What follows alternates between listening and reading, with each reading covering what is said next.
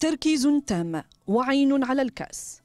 إنها كأس الكونفدرالية الإفريقية لكرة القدم 2021 وفريق نادي الرجاء الرياضي البيضاوي يحصل على لقب البطولة الإفريقية بعد فوزه على فريق شبيبة القبائل الجزائري.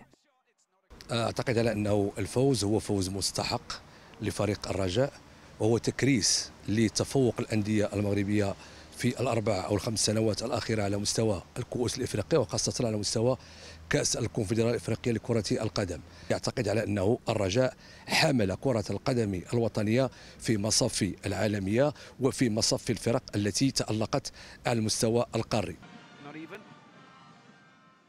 في بداية المباراة أحرز فيها اللاعب سفيان رحيمي هدف التقدم لصالح الرجاء البيضاوي ليضيف المهاجم الكونغولي مالانجو ثاني أهداف فريق الرجاء البيضاوي.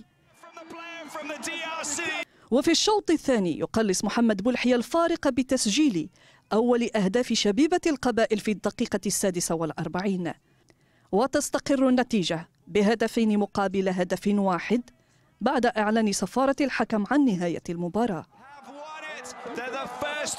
هذا تتويج الرياضة الوطنية لكرة القدم الوطنية لأنه آه، بطبيعة الحال هذا شرف لكرة القدم المغربية أنه في كل موسم كيكون عندنا على الأقل تتويج قاري.